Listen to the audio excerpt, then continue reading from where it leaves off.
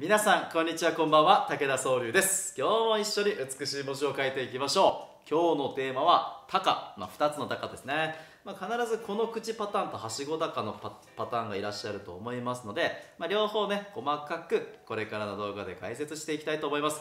ま、この2つのポイントの違いはこの口とはしごの違いですよね。この口は横長。このはしごは縦長というポイントを頭の片隅に置いてこれからの動画もぜひご覧くださいね。さあ高いを解説していきましょう。まずはダメなパターンですね。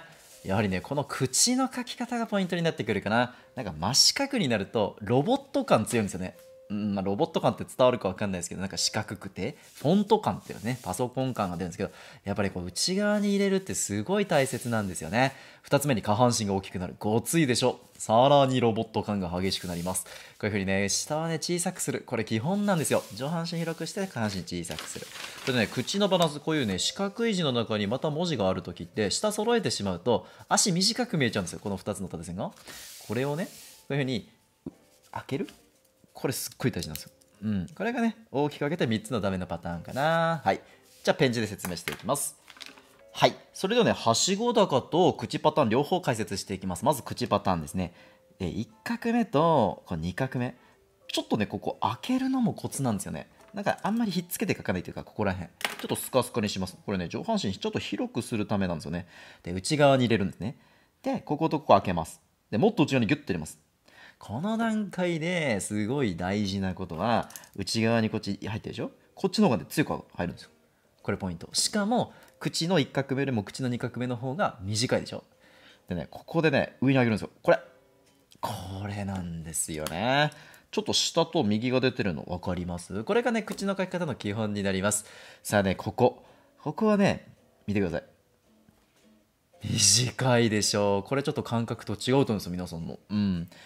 ここはねやっぱ下半身は広くていいんだけど縦広くなっちゃいけないんですよ。でこのバランス。にすると美しいんですね。でここでね焼き鳥の串みたいに常に中心意識するんですね。ここから口の真ん中そしてこの口もねちゃんと真ん中通す。ちょっとこの赤線ずれちゃった、うん、真ん中を通すっていうことがすごい重要です。はい。ではしご高もね似たような感じなんですけれども書いていきますね。うん。さあ、はしご高も1画目と2画目。ここね、スカスカなの一緒です。さあ、これです。スレンダーに書きましょう。そう、縦線同士はね、このはしごの幅が狭い方がかっこいいんですね。で、若干間隔よりも長めだと思います。細長い。で、ここは均等に書きます。なんかね、皆さん、この辺にね、隙間があると、大人っぽさを演出できますよ。さあ、この口パターンと同じで、こっちはね、狭いんですよ。狭いというか短い。これないですよね、なかなかね。ね、こっち長くていいんだけど、あんまり下半身大きくしない。うん、で、口はね、ちょっと上の方に詰めるんですけど、まあ、先ほどダメパターンの説明で言いましたけど、ここにね、広い余白がある方がいいんですよ。で、口すごいちっちゃいでしょ。これ大事なんですよね。このね、中で、広いからといってこうやって大きく書いちゃうと子供っぽい印象を与えてしまうんでね、まあ、ここは気をつけていきましょう。さあ、えっ、ー、と、行書もね、書いていきましょうか、両方ね。でね、会社と行書の違いなんだけど、だかちょっと曲線が増えるんですよね、行書って。でね、この曲がり角が丸くなる。で、高って、なんかすごい硬い字じゃないですか、四角いし。こういった字ってね、行書の方がね、美しく柔らかく見えるんで、まあ、ゆくゆくはね、皆さんね、行書も使いこなせるといいですよね。ほい。こういうふうに。でね、他にもね、特徴があるんです。まあ、こういうふうに曲がり角が丸いっていうのもあるんですけど、横線の斜め上がりがこういうふうにバラバラになるのが楷書との違いなんですよ。楷書ってこれが平行になるんですね。じゃあ続いて筆ペンです。さあ、筆ペンだとね、太い、細いのバランスがすごく重要になります。まず1画目。あんまり太くない。点はね、太くしてもいいことないですよ。さあ、横線はね、やはりね、そんな太くないんですよ。基本はね、横線細いんです。うん。でね、口はね、コンパクトに書きます。なんかね、狭太いって感じ。太くて狭くないですか？分かります？この中がね、太くてちっちゃいことによって狭いんですよね。これ結構重要なんですよね。口ってあんまり広くしない方がいいんですよ。うん。はい、短い。でね、この横線、太くするとダサいですよ。めちゃくちゃ細くします。うん。で、口はね、この広い中に、ちっちゃく、ちっちゃく。やはりこれも太く。こうするとね、めちゃめちゃバランスいいんですよ。ちなみにさっきね、この長い横線細くしてくださいっていう話したんだけど、試しにね、ちょっと太く書いてみましょうか。これみんななるんだけどダサいでしょ？なんかシュッとしないっていうかね。さあはしご高でも書いていきましょうか、まあ、基本考え方は一緒なんですけどこれがね細縦長いっていうのがちょっと違ってきますね。うん。ねこれちっちゃい。ここから一緒です。細いでしょ？なんかシュッとしてますね。さあ行書で両方書いてみましょうか。なんかね筆ペンだとよりね行書がねあの表現できるんですよね。そう最近この動画でね行書まで解説し始めたんですよね。もともと私行書の方がねあの普段には使ってるんでね会社ってちょっと書くの面倒なんですよ。ちゃんと書かないと崩れて見える書体なんですけどなんか行書ってなんか崩れてもそこそこに見えるそれっぽく見えるんで便利なんですよね手紙とか書くとき。で最後にお筆で書いていきます。さあ2つ書いていきましょう。横線ねあんま長くないんですよね。さあここです。うん。狭ほら短い。え狭い。あーこれ窮屈ですね。密です。密です。さあ内側に入れます。これ短いですね。さあ横線細い。うん。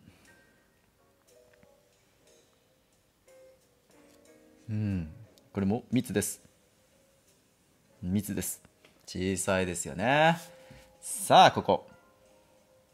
はしご高は口横長に対してはしご高は縦長なんですよね。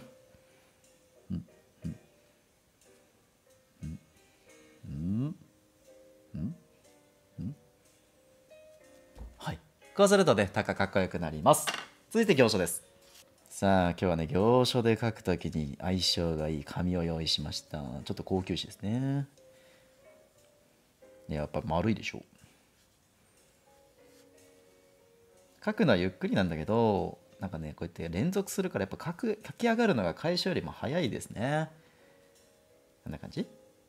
で最後にお約束。最近始めたんですけど創作ですね。高いで創作ってなかなかないけどそうですね。今日はね可愛い感じとかいろいろ表現していこうかな。ここからお遊びですよ皆さん。綺麗な字とか関係ないですけどね可愛らしい感じ。なんかちょっとこうあれですね。えー、なんだろう。麦わら帽子をかぶった太陽の下で遊んでる子供みたいな。じゃあね性格の悪い感じの高にしようかな。なんかちょっとこう触れるものみんな傷つけるみたいな。であとはブスですね。ブサイク。まあこんな感じでね書道ってねお遊びも楽しめるんですよね。はい今日は以上です。ありがとうございました。はいいかがだったでしょうか、えー口バージョンの高とはしご高ですね。それぞれちょっとポイントが変わってくるかな、まあ、やっぱりここが横長でこれ縦長、まあ、やっぱり両方ねこうくびれを作ってお尻広くするのが重要かな。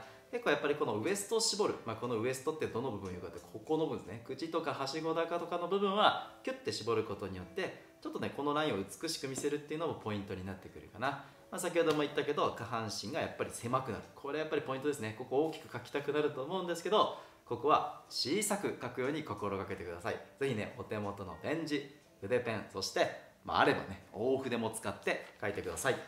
まあ、高いをテーマにね最後にお話したいんだけど私ね実は登山も趣味なんですよね。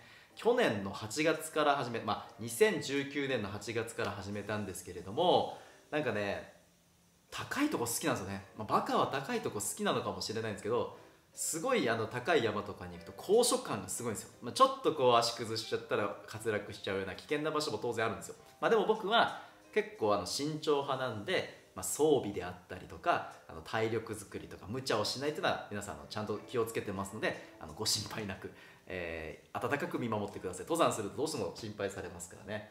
でもやっぱり私高いところから、まあ、富士山であったりいろんな景色を見るのがねすごいハマってますね。今この動画を撮ってる時って2020年の5月なんであの新型コロナウイルスの影響で自粛がねお、えー、とすごい広まってるんで登山も禁止されてるんですよね、まあ、なんで5月は全く登山ができないんですけど、まあ、登山ができる月はねもうほんと45回とか行きますね。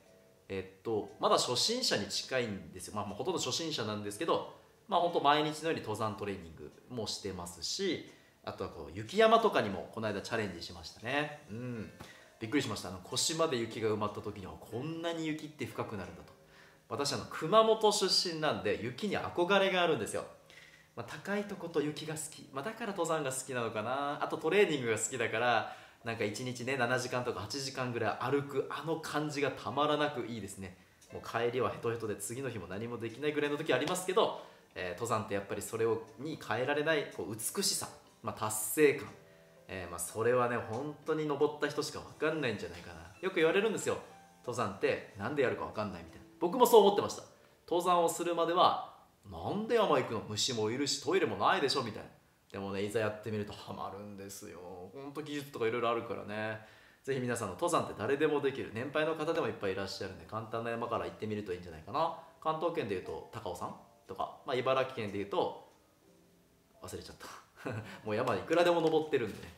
もう多い時は週1回登ってたりするんでね。はい。まあ、ぜひね皆さんこのチャンネルの中で2000文字の常用漢字を全て解説し終えるのが私の目標です。毎日必ずこれをあげます。私は継続が得意です。絶対にやめません。雨が降ろうとも槍が降ろうともこの動画を上げ続けます。皆さんもしよかったらチャンネル登録ボタンとグッドボタンを押して応援していただけると嬉しいです。皆さんこれからも何卒よろしくお願いします。それではバイバイ。